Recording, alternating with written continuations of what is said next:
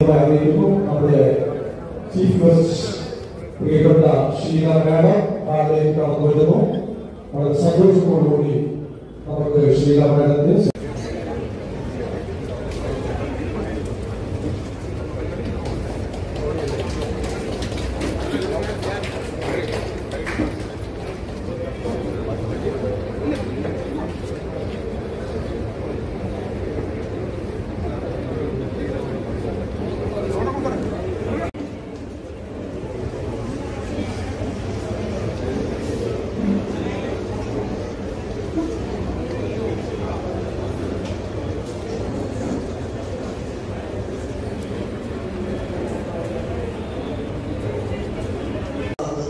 അത് വെറും ശബ്ദമായിരുന്നു സൗമ്യമായ ചിരി തന്നെ വലിയ വിസ്ഫോടനത്തിന്റെ ഒരു നല്ല മർമ്മം ഒരു മനസ്സിൽ സൂക്ഷിക്കുന്ന ഇടയ്ക്കിടയ്ക്ക് മനസ്സിൽ പൊട്ടിച്ചിരിക്കുന്ന ഒപ്പം അതിനകത്ത് കഥയും കഥകളും നിറച്ചുകൊണ്ട് സാഹിത്യ യോഗത്തേക്ക് തട്ടിപ്പാടുകളെ പുതിയ മാനം തീർക്കുവാനും ശ്രമിച്ചു സിനിമയുടെ നിത്യവസന്തമായ ഷീലാമിനെ ഈ ചടങ്ങിലേക്കായി നമുക്ക് ഒരുമിച്ച് ക്ഷണിക്കാം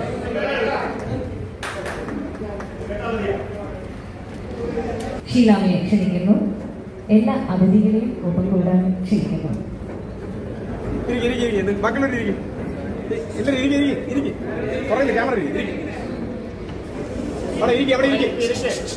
ക്യാമറ മൊബൈൽ എല്ലാവരും ഇവിടെ ഇരിക്കും. പുറകിൽ ആളിരിക്കും ഇരിക്കും.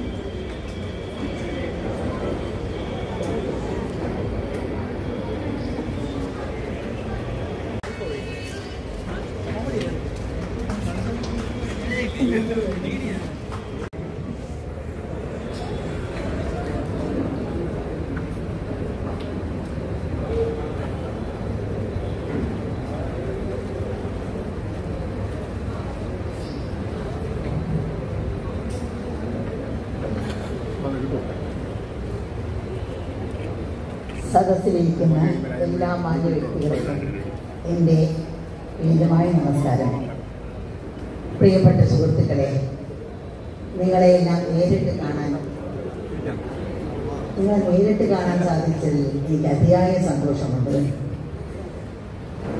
അതിനൊരു അവസരം നൽകിയ ഈ കൃഷി ഫൗണ്ടേഷന്റെ ഭാരവാഹികളോട് ഞാൻ നന്ദി പറയുന്നു.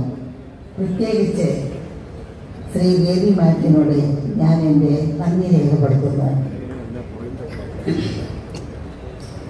ഞാൻ ഈ ടി കൃഷി ഫൗണ്ടേഷന്റെ പതിനേഴാം പുരസ്കാരം നൂറ്റിയെട്ടാം ജന്മദിനം ഉദ്ഘാടനം ചെയ്തിരിക്കുന്നു.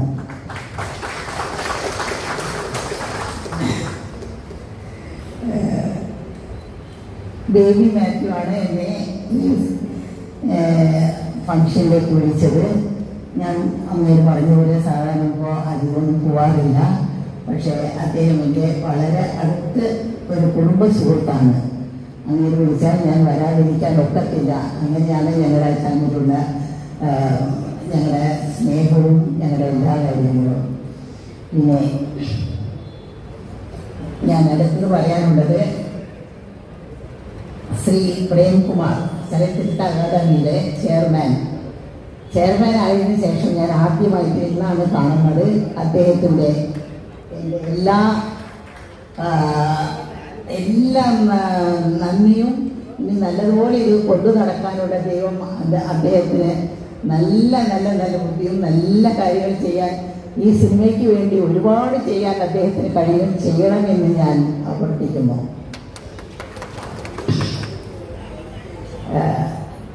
പിന്നെ തിക്കുഷ തിക്കുറിശി സാറിനെ പറ്റി പറയണമെങ്കിൽ അതിനെപ്പറ്റിയാണല്ലോ പറയേണ്ടത്. പറയണമെങ്കിൽ അദ്ദേഹത്തിനോട് ഞാൻ ഒരുപാട് പടങ്ങളിൽ അഭിനയിച്ചിട്ടുണ്ട്. അച്ഛനായിട്ടും പാതണ്ടായിട്ടും ഒക്കെ ഒരുപാട് പടത്തിൽ അഭിനയിച്ചിട്ടുണ്ട്. അദ്ദേഹം ഡയറക്റ്റ് ചെയ്ത പൂജാപുഷ്പം എന്ന പടത്തിൽ ഞാൻ അഭിനയിച്ചിട്ടുണ്ട്. അപ്പോഴാണ് അദ്ദേഹം എന്നോട് ഞാനപ്പോൾ കുറച്ച് ഗ്ലാമർ റോളൊക്കെ ചെയ്തുകൊണ്ടിരുന്ന ഒരു സമയമായിരുന്നു. അങ്ങനെയല്ല ഇങ്ങനെ നടക്കണം ഇങ്ങനെ നടക്കണം എന്നൊക്കെ എന്നെ ഒരു അഭിനയം ഒരു ഒരു ഒരു പരിധി വരയ്ക്ക് എന്നെ പഠിപ്പിച്ച ഒരാളായിരുന്നു ടി കൃഷി സാർ അങ്ങനെ പറ്റി ഓർക്കുമ്പോൾ വിചാരിക്കുമ്പോഴൊക്കെ ഞാൻ ഓർക്കുന്ന ഒരു കഥയുണ്ട്. അത് നിങ്ങളോട് ഞാൻ പറയാം. അദ്ദേഹം അടുക്കരി എന്നോട് ആ കഥ പറയും. ഞാൻ ആ കഥ പറഞ്ഞിട്ടുണ്ടല്ലോ മോളത് എപ്പോഴും മനസ്സിലുണ്ടായിരിക്കാവുന്നു അതായത് ആ കഥ എന്താണെന്ന് വെച്ചാൽ ഒരു വലിയ രാജാവാണെങ്കിൽ അല്ലെങ്കിൽ വലിയ മന്ത്രിയാവണമെങ്കിൽ അഷ്ടലക്ഷ്മികൾ നമ്മളുടെ അടുത്തുണ്ടെങ്കിൽ നമ്മൾ ആ സ്ഥാനത്തിലേക്ക് എത്താൻ ഒത്തു ഒക്കുള്ളൂ. അതായത് ധാന്യലക്ഷ്മി സന്താനലക്ഷ്മി ഗജലക്ഷ്മി ഇങ്ങനെ എട്ട് ലക്ഷ്മികളും ഉണ്ടായിരിക്കണം. എന്നാലേ നമ്മൾ ആ സ്ഥാനത്തിലേക്ക് എത്താനൊക്കത്തുള്ളൂ ഇപ്പോൾ ശ്രീ പ്രേംകുമാറൊക്കെ എത്തിയില്ലേ അങ്ങനത്തെ ഒരു സ്ഥാനത്തേക്ക്. അപ്പോൾ ആരാ? എല്ലാവർക്കും കഷ്ടകാലം ഒരെണ്ണം ഉണ്ടാവും. എല്ലാവരും ഒരേമാതിരി ജീവിതത്തിൽ എല്ലാവരും എന്നും നല്ലതായിട്ട് മാത്രം ജീവിക്കില്ല. നല്ലതും വരും കഷ്ടവും വരും. അപ്പോൾ അങ്ങനെയുള്ളപ്പോൾ ആ രാജാവിന് ഒരു കഷ്ടകാലം വന്നു. അപ്പോൾ എല്ലാ ലക്ഷ്മികളും വന്ന് അപ്പോൾ രാജാവിനോട് ഒന്ന് പറയുന്നു. അപ്പോൾ ലക്ഷ്മി സന്താനലക്ഷ്മി എന്ന് പറയാണ് ഞാൻ രാജാവെ ഞാൻ വിട്ട് പോവാണ്. കാരണം നിങ്ങളുടെ സമയം കഴിഞ്ഞിരിക്കുന്നു എന്ന് പറഞ്ഞു. സന്താനലക്ഷ്മി അല്ലേ അപ്പം അങ്ങേരെ കുറേ ഭാര്യമാരുണ്ടാവും ഒരുപാട് പിള്ളേരുണ്ടാവും. അവരൊക്കെ ഓരോരുത്തർ ഓരോരുത്തരായിട്ട് ഓരോ അങ്ങനെ മരിച്ച് മരിച്ച് ഇങ്ങനെ പല പല ദുഃഖകരമായ കാര്യങ്ങളായിപ്പോയി പിന്നെ അടുത്തത് ഗജലക്ഷ്മി. ഗജലക്ഷ്മി എന്ന് പറഞ്ഞാൽ അവരൊക്കെ യുദ്ധം ചെയ്യണമെങ്കിൽ ഒരുപാട് അവർക്ക് ഈ ആനകളും അതും ഇതും എല്ലാം ആവശ്യമാണ്. അപ്പം ആ കഷ്ടകാലം വന്നപ്പോൾ അതെല്ലാം രോഗം വന്നും എല്ലാം മരിച്ചുപോയി. അങ്ങനെ എല്ലാ ലക്ഷ്മികളും വന്ന് അവരോട് ഇങ്ങനെ എല്ലാം ഓരോന്ന് പറയുമ്പോൾ അങ്ങേരെ എല്ലാം ചിരിച്ചുകൊണ്ട് ഇങ്ങനെ നോക്കി. ഓക്കെ പോയിട്ട് വരും. സന്തോഷം പോയിട്ട് വരും എന്ന് പറഞ്ഞുകൊണ്ടിരിക്കുകയായിരുന്നു അവസാനം ധൈര്യലക്ഷ്മി വന്നു. എന്ന് പറഞ്ഞു ഞാൻ പോവാണ് രാജാവേ. എനിക്ക് വീട തരണമെന്ന് പറഞ്ഞു. ഉടനെ ആ രാജാവ് ആ അഷ്ട ധൈര്യലക്ഷ്മിയുടെ രണ്ട് കാലും പിടിച്ച് കരഞ്ഞു. ഏത് ലക്ഷ്മികൾ എന്നെ വിട്ടു പോയാലും ധൈര്യലക്ഷ്മി മാത്രം എന്നെ വിട്ടു പോവരുത്. ധൈര്യമുണ്ടെങ്കിൽ ഞാൻ ഇതെല്ലാം വീണ്ടെടുക്കും. എന്നൊരു കഥ എന്നോട് എപ്പോഴും പറഞ്ഞു ഞാൻ എപ്പോഴും ഓർക്കും. കാരണം ജീവിതത്തിൽ എന്തെല്ലാം പോയാലും ധൈര്യം ഉണ്ടാവണം ഇതെല്ലാം നമുക്ക് തിരിച്ചു കിട്ടും. ഇതെല്ലാം ശരിയാവും. ഈ രോഗമാണെങ്കിലും എല്ലാം ശരിയാവും എന്നുള്ള ആ ഒരു കഥ ഞാൻ എപ്പോഴും കൃഷി സാർ പറയും പറ്റി പറയുമ്പോൾ ഒക്കെ അങ്ങേരെ പറ്റി ഓർക്കുമ്പോഴൊക്കെ ഞാൻ എപ്പോഴും ഈ കഥ ഓർക്കും പിന്നെ ഇനിയൊരു കഥ കൂടെ അങ്ങേര് പറഞ്ഞു. അതും കൂടെ ഞാൻ പറഞ്ഞേക്കാം. നിങ്ങൾ ബോറടിച്ചെങ്കിലും ഞാൻ പറയാം കേട്ടോ. അതായത് ഒരു അലക്കുകാരനുണ്ടായിരുന്നു. അവൻ വന്ന് ഇവിടെ വന്ന് സിറ്റിയിൽ വന്ന് ഒരുപാട് സാധനങ്ങൾ ഈ തുണിയെല്ലാം എടുത്തുകൊണ്ട് അവന്റെ ഗ്രാമത്തിൽ പോയി അതെല്ലാം അലക്കി എടുത്തുകൊണ്ട് വരും. അപ്പോൾ ഇത് എടുത്തുകൊണ്ട് പോകുമ്പോൾ അവന്റെ ആ കടന്നു പോകുമ്പോൾ ഒരു പാലത്തിൽ ഒരു ഒരു ഒരു ഒരു നദി ഒരു ചെറിയ ഒരു ഒരു തോടുണ്ട്. അതിനൊരു പാലം ഉണ്ടായിരുന്നു. അപ്പോൾ ആ പാലം കടന്ന് വേണം അങ്ങോട്ട് പോകാൻ അവൻ അങ്ങോട്ട് പോകുമ്പോൾ തന്നെ ആ പാലം അങ്ങനെ ഇടിഞ്ഞ് വീഴുന്ന പോലെ ഉണ്ടായിരുന്നു. ശരി അവൻ അവന്റെ നാട്ടിൽ പോയി. എല്ലാം തുണിയെല്ലാം അലക്കി എല്ലാം അയൺ ചെയ്ത് എല്ലാം തിരിച്ച് എടുത്തിട്ട് തിരിച്ച് വരുന്ന അലക്കുമ്പോഴും തിരിച്ചു വരുമ്പോഴൊക്കെ അവന്റെ മനസ്സിന്റെ അകത്ത് എന്റെ ദൈവമേ ഇനി ആ പാലം പൊട്ടിപ്പോയോ ഇങ്ങനെയായോ എന്തായോ എന്താണെന്നറിയില്ല അവൻ ഒരു രണ്ട് മൂന്ന് ദിവസമായിട്ട് ഉറക്കോ ഒന്നുമില്ലാതെ അവൻ ഒരു ജോലിയും ചെയ്യാനൊക്കാതെ എല്ലാം കഷ്ടപ്പെട്ട് ആ മനസ്സിനകത്ത് ഒരുപാട് വേദനിച്ചിട്ട് അവൻ വന്ന് ആ വഴി തിരിച്ചു അവൻ വന്നു. വരുമ്പോൾ നോക്കുമ്പോൾ പാലം അതുപോലെ തന്നെ ഉണ്ട്. അവൻ ആ പാലം കടന്നുപോയി. അതായത് പറയുന്നത് വെച്ചാൽ നമ്മൾ വന്ന് നമ്മുടെ അങ്ങേര് പറഞ്ഞ കഥയിലേതാണ് നമ്മുടെ കാര്യങ്ങൾ ഇത് നടക്കുമോ നടക്കില്ലയോ നമ്മളിങ്ങനെ കഷ്ടപ്പെട്ട് അതിനെപ്പറ്റി ആലോചിച്ചുകൊണ്ട് നടക്കേണ്ട ആവശ്യമില്ല. അത് നമുക്ക് വിധിച്ചിട്ടുണ്ടെങ്കിൽ തീർച്ചയായിട്ടും അതെല്ലാം നല്ലതുപോലെ നടക്കും.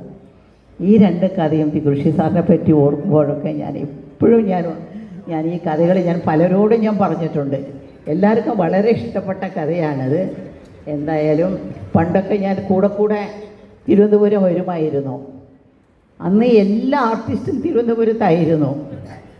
ഷൂട്ടിങ്ങുകളെല്ലാം മരിലാൻ സ്റ്റുഡിയോ ഇവിടെയൊക്കെ ഞങ്ങൾ കൂടെ കൂടെ വരുമായിരുന്നു. ഇപ്പോൾ ആരുമില്ല ഇവിടെ വളരെ കുറച്ച് ആർട്ടിസ്റ്റോടെ എല്ലാവരും കൊച്ചിയിലോട്ട് മാറി. പണ്ട് ചെന്നൈയിലായിരുന്നു എല്ലാവരും ഉണ്ടായിരുന്നത്. അവരെല്ലാവരും കേരളത്തോട്ട് വന്നു. എന്തായാലും നിങ്ങളെല്ലാം ഇങ്ങനെ ഈ കൃഷി ഫൗണ്ടേഷന്റെ വഴി കാണാൻ ഒത്തതിനും നിങ്ങളോട് ഇങ്ങനെ സംസാരിക്കാനും നിങ്ങളെയൊക്കെ കുറച്ച് നേരം ബോറടിക്കാനും സാധിച്ചതിൽ എനിക്ക് ഒരുപാട് സന്തോഷമുണ്ട്. നന്ദി നമസ്കാരം. നന്ദി ഷീലമ്മ. ഷീലാമയോടുള്ള ആദരസൂചകമായി ഷീലാമ്മ അഭിനയിച്ച ശ്രാവണ ചന്ദ്രിക എന്ന പ്രശസ്തമായ ഗാനം ആദരസൂചകമായി ഇവിടെ ഞങ്ങൾ അവതരിപ്പിക്കുകയാണ്. ഇവിടെ ഈ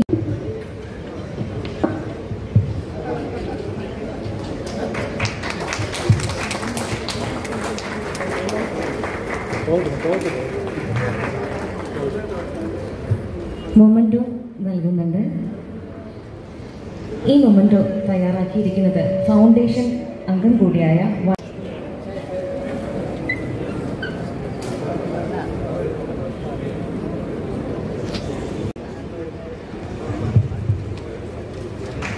മലയാളികൾക്ക് ഏറെ അഭിമാനകരമായ ഒരുപാട് സംഭാവനകൾ നൽകിയ ശ്രീ ജോർജ് ഓണക്കൂർ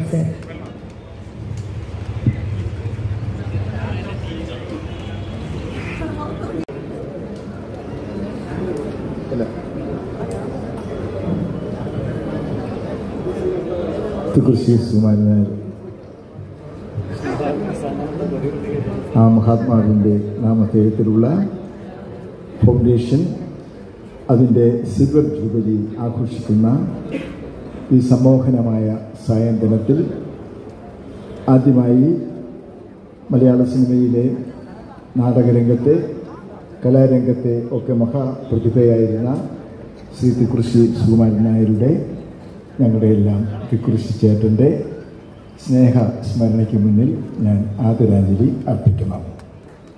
പ്രിയപ്പെട്ട നമ്മുടെ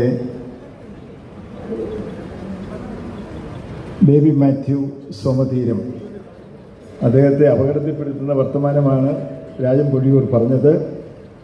അത്ര വലിയ ധനാഠ്യൻ എന്ന് അദ്ദേഹത്തെ വിശേഷിപ്പിക്കേണ്ട.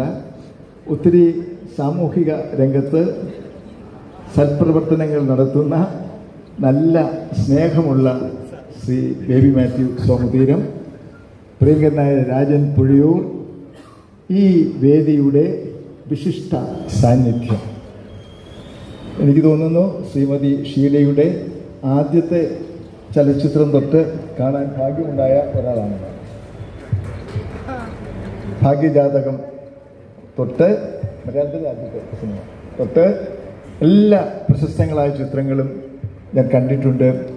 ആസ്വദ ആസ്വാദന മനസ്സോട് ആസ്വാദക മനസ്സോടുകൂടി അത് കാണുവാനുള്ള ഭാഗ്യം എനിക്ക് ഉണ്ടായിട്ടുണ്ട്. മലയാളത്തിന്റെ മുഖശോഭയാണ്. മലയാളത്തിന്റെ താരമണ്ഡലത്തിലെ ഏറ്റവും സൗഭാഗ്യപൂർണമായ ഈ ഒരു മഹതിയുടെ സാന്നിധ്യം തീർച്ചയായും ഈ സദസ്സിനെ വല്ലാതെ അനുഗ്രഹിക്കുന്നു എന്ന് വളരെ സ്നേഹപൂർവം ഞാൻ പറഞ്ഞുകൊള്ളട്ടെ അതുപോലെ നമ്മുടെ പ്രിയങ്കരനായ പ്രേംകുമാർ പ്രേംകുമാറിന്റെ ചലച്ചിത്ര അക്കാദമി ചെയർമാൻ ആയതിനു ശേഷം പൊതു ചടങ്ങ് എന്നുള്ള രണ്ടാമത്തെ പൊതുചടങ്ങാണിത്. എല്ലാ ഭാവുകവും നമ്മുടെ പ്രിയങ്കരനായ ശ്രീ പ്രേംകുമാറിന് അർപ്പിക്കാൻ ഈ അവസരം ഞാൻ ഉപയോഗിക്കുന്നു. വേദിയിൽ പ്രിയപ്പെട്ട എഴുത്തുകാരൻ ശ്രീ ലിബിൻ രാജുണ്ട്. അദ്ദേഹം റെയിൽവേ ദക്ഷിണ റെയിൽവേയുടെ സീനിയർ ഡിവിഷൻ ഓഫീസർ ആണ്. ഇവിടെ ഇരിക്കുമ്പോൾ ലിബിൻ എന്നോട് ചോദിക്കുകയായിരുന്നു ഈ കെട്ടിടം പൊളിച്ച് മനോഹരമായ മറ്റൊരു വലിയ ഹാൾ ആയിട്ട് പണിയുകയാണ്. പുനർനിർമ്മിതി നടക്കുകയാണ്. ഇങ്ങനെ പുനർനിർമ്മിതിയുടെ വർത്തമാനകാലത്ത് തിക്കുശിച്ചേട്ടന്റെ ജന്മഗൃഹം അതുപോലെ തന്നെ ജവഹർ നഗറിൽ അദ്ദേഹം ജീവിച്ചിരുന്ന കനകശ്രീ വത്സം എന്ന മനോഹരമായ ചരിത്ര സ്മാരകമെന്നാണ് എനിക്ക് തോന്നുന്നത്. ഒത്തിരി ആ വീട്ടിൽ പോകുന്നതിന് ഇടവന്നിട്ടുള്ളൊരു ഭാഗ്യവാൻ എന്നുള്ള നിലയ്ക്ക് ഞാൻ പറയുകയാണ്. ഇതൊക്കെ സർക്കാർ ഏറ്റെടുക്കുന്നതിന് ഏറ്റെടുത്ത് അതിനെ നിത്യസ്മാരകമായി സൂക്ഷിക്കുന്നതിന് നമുക്ക് എന്ത് ചെയ്യാൻ കഴിയും എന്ന് ശ്രീ ലിബിൻ രാജ് ചോദിക്കുകയായിരുന്നു. തീർച്ചയായും ആ വഴിക്കുള്ള ഒരു ചിന്ത ഇനിയുള്ള കാലത്ത് ഉണ്ടാവും എന്ന് ഞാൻ പ്രതീക്ഷിക്കുന്നു. അതിനെ ശ്രീ രാജൻ പൊഴിയൂരിന്റെ അതുപോലെ സുഹൃത്തുക്കളുടെ ഒക്കെ നേതൃത്വത്തിൽ പ്രവർത്തിക്കുന്ന ഈ മനോഹരമായ സംഘടന ഒരു വലിയ അനുഗ്രഹമായിരിക്കും എന്ന് ഞാൻ പ്രതീക്ഷിക്കുകയാണ്. നമ്മുടെ വിജയകൃഷ്ണൻ ഈ വേദിയിലുണ്ട്. ചലച്ചിത്ര സംവിധായകനും എഴുത്തുകാരനുമായ വിജയകൃഷ്ണൻ. ഒരു രഹസ്യം ഞാൻ പറയാം. വിജയകൃഷ്ണന്റെ എഴുത്തിന്റെ അറുപതാം വർഷമാണ് ഇത്. കൈയടിച്ച് വിജയകൃഷ്ണനെ അനുമോദിക്കാം. ഈ അവാർഡുകൾ നിശ്ചയിച്ച ശ്രീ കെ സുദർശൻ വേദിയിലുണ്ട്. പ്രിയപ്പെട്ട നമ്മുടെ രാജീവ് ഗോപാലകൃഷ്ണൻ ഉണ്ട്. ശ്രീ മോഹനചന്ദ്രൻ നായരുണ്ട്. മറ്റ് സുഹൃത്തുക്കൾ എല്ലാം. ബാലുഗിരിയത്ത് താമസിക്കുന്ന കാലത്ത് ഒക്കെയും തിരുവനന്തപുരത്ത് ഒരു പുസ്തക പ്രകാശനം നടക്കുകയാണ് എങ്കിൽ അതിന്റെ പ്രകാശകൻ തിക്കുറിശിച്ചേരനായിരിക്കും ഏറ്റുവാങ്ങിയത് മുഴുവൻ ഈ എളിയവനായ ഞാനും ആയിരുന്നു എന്നുള്ളത് ഈ അവസരത്തിൽ വളരെ അഭിമാനത്തോടു കൂടി ഞാൻ ഓർമ്മിക്കുന്നു. നമുക്കെല്ലാം കൂട്ടായി ഈ ചെറുപ്പക്കാരന്റെ ഞാൻ ഇപ്പോഴും ചെറുപ്പമാണ്. ഞാനും അത്. നമുക്ക് എല്ലാം ഒത്തുചേർന്നുകൊണ്ട് കൃഷി ചേട്ടന്റെ അതുപോലെ നമ്മിൽ നിന്ന് വേർപെട്ടു പോയ സാഹിത്യ നായകന്മാരുടെ കലാകാരന്മാരുടെ ഒക്കെ സ്മരണ നിലനിർത്തുന്നതിനുള്ള വലിയ പ്രവർത്തനങ്ങൾ ആരംഭിക്കാം. തീർച്ചയായും നമ്മുടെ പ്രിയങ്കരനായ ശ്രീ പ്രേംകുമാർ അതിന് നേതൃത്വം നൽകട്ടെ എന്നും ആശംസിച്ചുകൊണ്ട് നിങ്ങളെല്ലാം നമസ്കരിച്ച് ഈ സംഭാഷണം ഞാൻ അവസാനിപ്പിക്കും നമ്മുടെ ഒരു മാധ്യമപ്രവർത്തക എന്ന നിലയിൽ പത്രത്തിലും ടെലിവിഷനിലുമായി ഒരുപാട് ബഹുമതികൾ കിട്ടിയിട്ടുണ്ട്. എന്നാൽ ഒരു പുസ്തകത്തിന് ആദ്യമായിട്ടാണ് എനിക്കൊരു അവാർഡ് കിട്ടുന്നത്. സകലകല വല്ലഭനും മലയാള സിനിമയിലെ ആദ്യത്തെ സൂപ്പർ സ്റ്റാറുമായ തിക്കുറിശിയുടെ പേരിലുള്ള ഈ അവാർഡ് ഒലിക്കട്ടെ എന്ന് ഞാൻ പ്രാർത്ഥിക്കുന്നു. ഇതിൽ ചലച്ചിത്ര ഗ്രന്ഥം എന്നൊന്നും പറയാനില്ല. അഭിമുഖങ്ങളുടെ ഒരു സമാഹാരമാണ്. അതിൽ വലിയ സാഹിത്യ മൂല്യമൊന്നുമില്ല എന്ന് എനിക്കറിയാം. എന്നാൽ കുറച്ച് ജീവിത മൂല്യങ്ങളുണ്ട്. ആ കാലഘട്ടത്തിന്റെ ചില നിലപാടുകളുണ്ട് കാഴ്ചപ്പാടുകളുണ്ട്. അവരിൽ പലരും അമിതാഭ് ബച്ചൻ മുതലുള്ള ആളുകൾ എന്നെ ഒരുപാട് പ്രചോദിപ്പിച്ചിട്ടുമുണ്ട്. ഒരുപക്ഷെ അകന്നു നിന്ന് കാണുമ്പോൾ ഒന്നുമില്ലാത്ത ചില ആളുകൾ ചില കാര്യങ്ങളിലൊക്കെ എടുക്കുന്ന വലിയ നിലപാടുകളും അഹങ്കാരമൊക്കെ കാണുമ്പം ഇവരുടെയൊക്കെ നിലപാടുകളെ ഞാൻ അറിയാതെ വന്നിച്ചു പോയിട്ടുണ്ട്. ഉദാഹരണം പറഞ്ഞാൽ അമിതാഭ് ബച്ചൻ തന്നെ ഞാൻ അദ്ദേഹത്തിന്റെ മുന്നിൽ വളരെ പേടിച്ചാണ് ഇരുന്നത്. അപ്പോൾ അദ്ദേഹം എന്നോട് പറഞ്ഞ ഒരു ഫിലോസഫി ഉണ്ട്. എന്റെ വീട്ടിൽ ഞാൻ ക്ഷണിക്കാതെ നിങ്ങൾക്ക് വരാൻ കഴിയില്ല. പക്ഷെ ക്ഷണിച്ചു കഴിഞ്ഞാൽ പിന്നെ നിങ്ങളെ സ്വീകരിക്കേണ്ടത് എന്റെ കടമയാണ്. അതുകൊണ്ട് ഈ അഭിമുഖത്തിന് ഞാൻ സമ്മതിച്ചതാണെങ്കിൽ എന്ത് ചോദ്യവും നിങ്ങൾക്ക് ചോദിക്കാം. എന്ത് ചോദിക്കണം? ചോദിക്കരുത് എന്ന് ഞാൻ പറയില്ല. അങ്ങനെയാണ് അദ്ദേഹം എന്നെ തന്നെ അദ്ദേഹം പ്രചോദിപ്പിച്ചത്. അപ്പോൾ അത്തരം ഒരുപാട് ജീവിത വീക്ഷണങ്ങൾ എനിക്കും വലിയ പ്രചോ പ്രചോദനമായിട്ടുണ്ട്. ഇന്ന് ഈ വേദിയിൽ ഇരിക്കുന്ന ആളുകളും എഴുത്തിലും സിനിമയിലും ഒക്കെ ഒരു കാലഘട്ടത്തെ അല്ലെങ്കിൽ ഒരു രണ്ട് കാലഘട്ടത്തെ തന്നെ അടയാളപ്പെടുത്തിയ ആളുകളും എന്റെ പ്രിയപ്പെട്ട സുഹൃത്തുക്കളുമാണ്. അവരുടെ മുമ്പിൽ വെച്ച് ഇങ്ങനെ ഒരു ബഹുമതി തന്നതിന് തിക്കുറിശി ഫൗണ്ടേഷനോട് നന്ദി പറയുന്നു. നമസ്കാരം.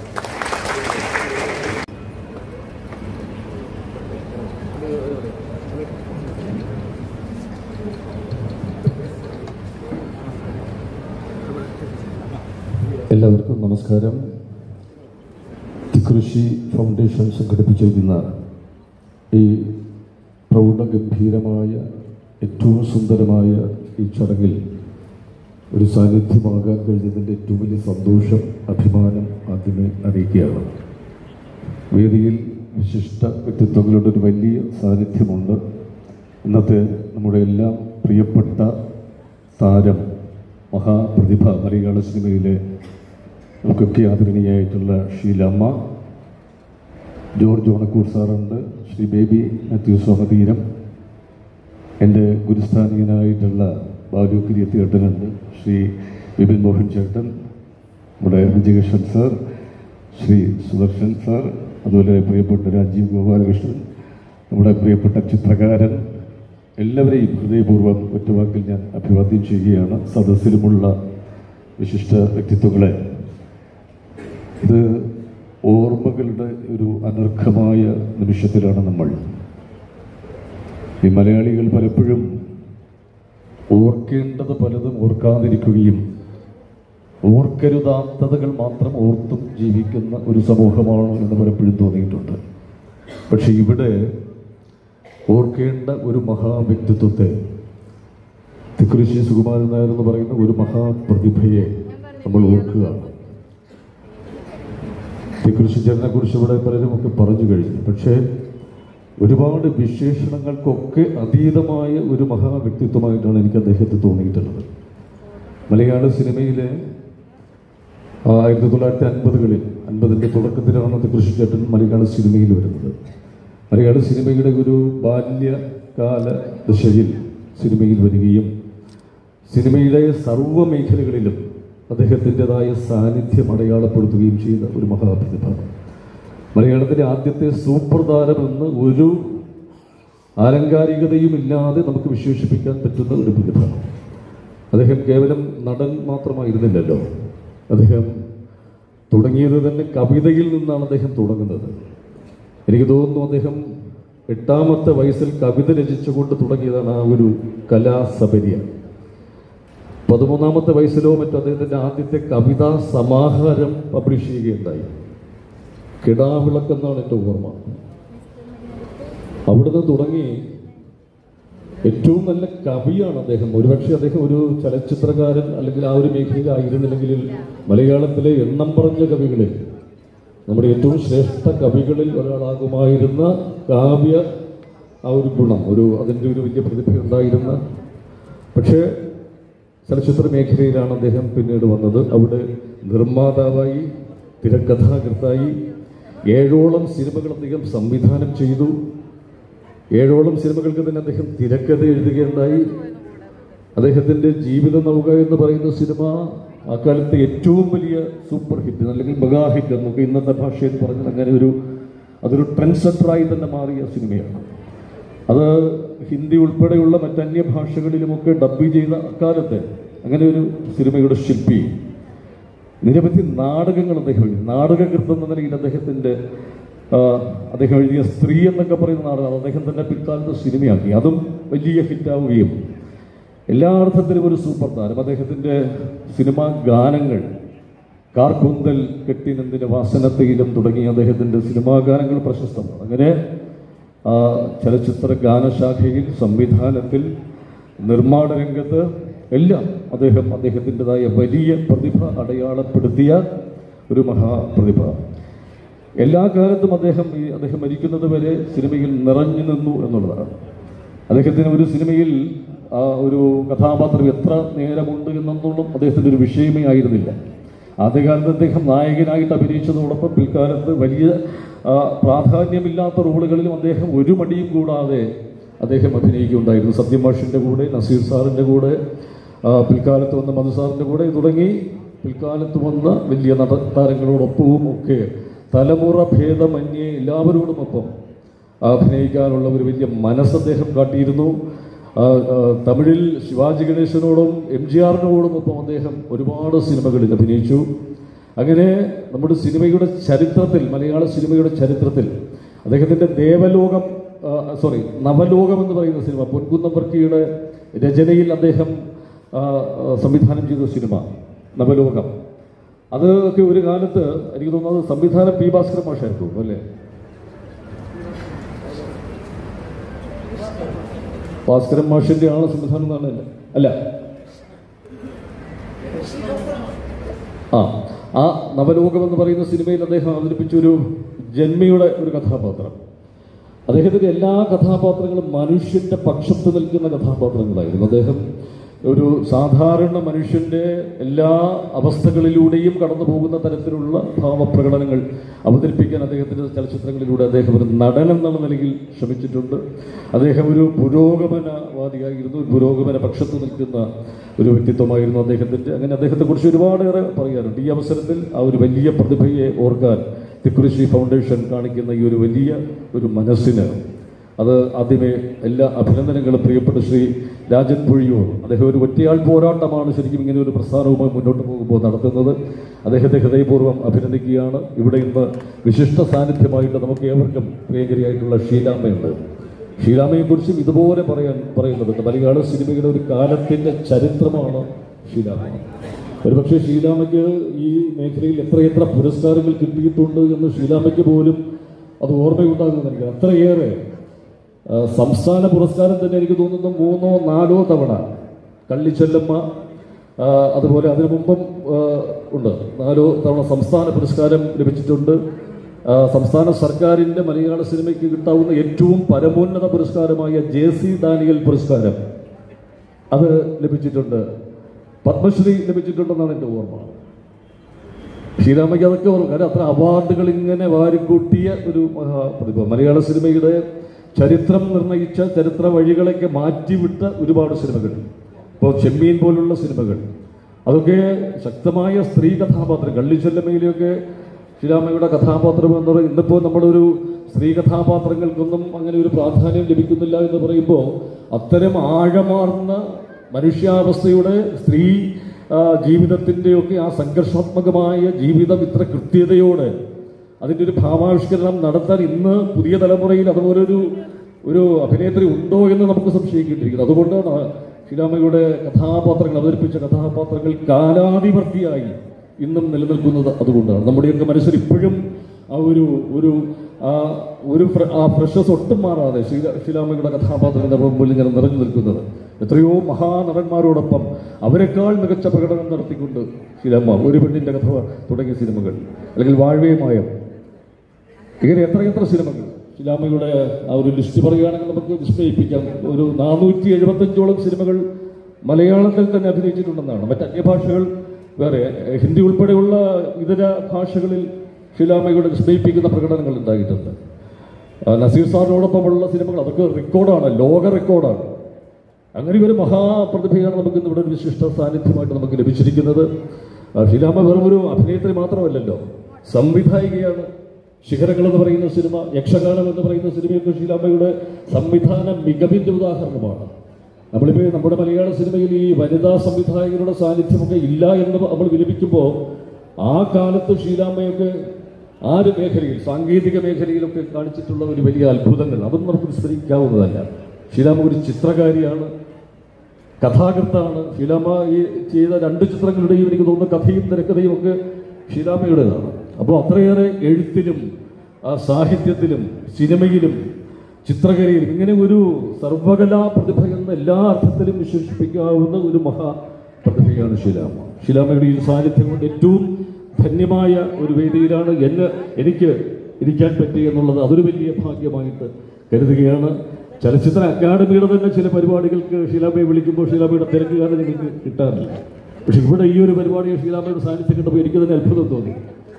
തീർച്ചയായും ഈ ഒരു ഇവിടെ ശിലാമ എത്തിക്കാൻ അത് ശ്രീ ബേബി മറ്റു സോമതീരത്തിന്റെ ഒക്കെ ഒരു ഒരു ആ ഒരു സൗഹൃദമാണ് അതിലേക്ക് നയിച്ചതെന്ന് ഞാൻ മനസ്സിലാക്കുന്നു. ഇങ്ങനെ ഈ വേദിയിലേക്ക് എത്തിച്ചതിന് ഇതിന് പിന്നെ പ്രവർത്തിച്ച മുഴുവൻ പേരെയും ഒരിക്കൽ കൂടി അഭിനന്ദിച്ചുകൊണ്ട് തൃക്കൃഷി എന്ന് പറയുന്ന ആ ഒരു മഹാപ്രതിഭയ്ക്ക് അദ്ദേഹത്തിന്റെ ആ ദീപ്തമായ സ്മരണയ്ക്ക് മുമ്പിൽ ഹൃദയാഞ്ജലികൾ അർപ്പിച്ചുകൊണ്ട് നിർത്തുന്നു. നന്ദി നമസ്കാരം.